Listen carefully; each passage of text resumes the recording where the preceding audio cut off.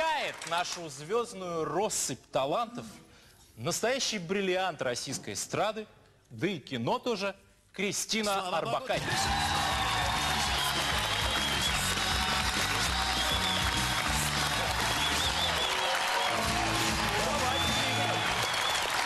Кристина,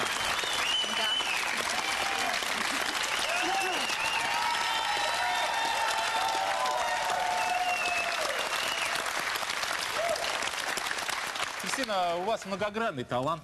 Э, Вы готовы показать сегодня только одну его грань? Умение быстро... Выбирайте.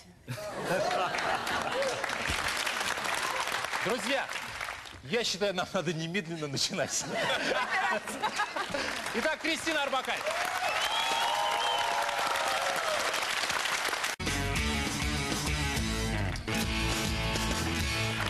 Пришла пора импровизации Кристины Арбакайте.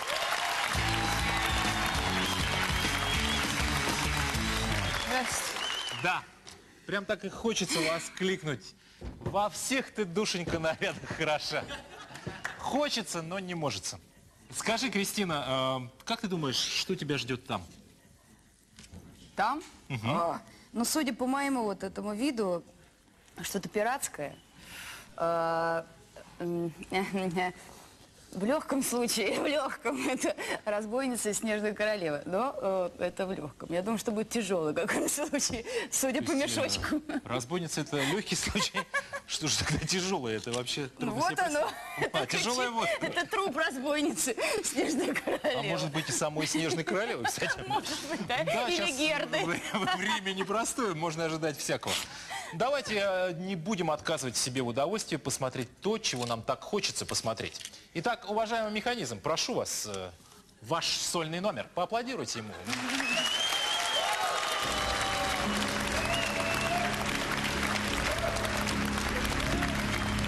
Итак, э, импровизация Кристины Арбакайте.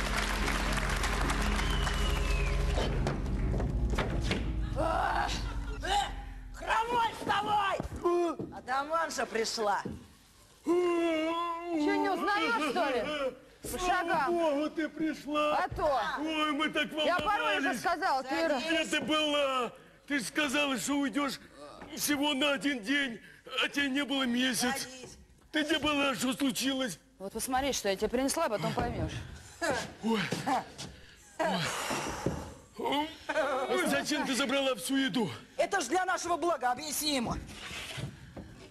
Ну, Я подруга Бога. просто. Поэтому вот несла Богу, а подъедала по дороге. Ну вот, зато теперь у нас полно прекрасной еды. А Ром, Ром остался у вас? Ром? Ой, э, э, что я не понял? Ты тут одни объедки. Ну что, а как мы будем грабить, убивать, сидя на такой диете? А ладно ты хромой, нормально. Разбойник должен быть голодный. Да. Короче, Правильно, давай, как ты что хотел грабить? давай о деле. Что узнала? Значит так. Вот, э, вот эта кость. Так. Мне сказала, что на золото зарыто, зарыто, вернее, на острове Красной Кости. Так. А вот это на Золотом Зубе. А, Понимаешь? И вот пока я это все вот э, выясняла, вот пришлось обгладать. нет, слушай, нет. Ну ты же говорила, что на рассвете мы должны грабить маркиза этого. Ну как его, маркиза? Карабаса, что ли? Карабаса! Хромой! У него же целая дюжина собак. Как ты, ты придумал, как их А обмануть? это для кого? А, собак. Слушай, ну собаки-то ладно, но с ним же поедут его гости, а у них ружья, а у нас палки, камни, как быть-то? Так отлично с палками и камнями вообще справимся. Я, между прочим, стрелок ворошиловский. Какой? Ворошиловский палками и камнями. Палка. Ну и видишь, Ворошилский сидит. А ты не тряси кишкой. Чё? Давай, Хромой, не тряси кишкой, нормально. Атаманша я или кто? У меня такой вопрос. А чё мы не ограбили маркиза в прошлый раз, когда он ехал по лесу один с Не было настроения. Не было. Не было. И ты сказал, что у него, он не в неправильном настроении. Какое настроение у него правильное? У меня не было настроения. А у него А мне плевать на его настроение. плевать. Тебе плевать, а нам грабить. Опять мне сядь. все это не нравится. Ладно, давай-ка скажи, что ты там говоришь нам, ну, каждый раз перед тем, как мы идем на дело? Ну, Раз, два, три, четыре, пять. грабить мы идем Едем. опять! Не, не, не, ты говоришь, что все пойдет так, как ты задумала, а получается все наоборот. Я так думаю. А вы так говорите. Не нравится мне все это. Ой, не нравится. Почему вообще наша банда, шайка была самая мощная, самая, так сказать, многочисленная, а сейчас нас только двое, Трое вас. трое. Плохо считаешь. Вот поэтому ты На шухере. проспался. Да. Значит так, Ну, план действий. давай. Так, начинать. Маркиз, что ли? Сам явился? Здравствуй, дорогой! Здравствуй, моя любимая. Здравствуй, Ой, боже! моя любимая. Ой, какие люди! Как я понимаю, это и есть те самые двое, да, моя дорогая? Да? Но они не стоят, они, они не стоят ста монет. Погоди, я не понял, что это значит? Это означает, что вы, мои рабы, будете работать на меня. Держи, моя дорогая. Что ты нас продала, что ли? Ты забыла, что ты наша сестра?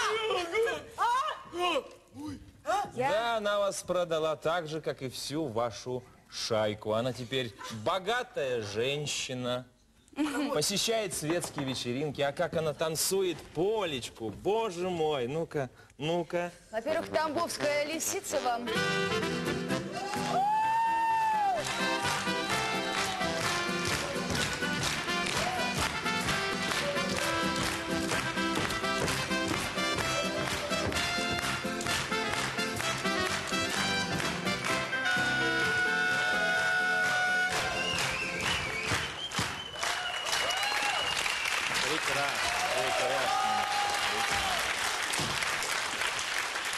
Ох, Кристина, откуда все это появилось? И командирский голос, и диктаторские замашки.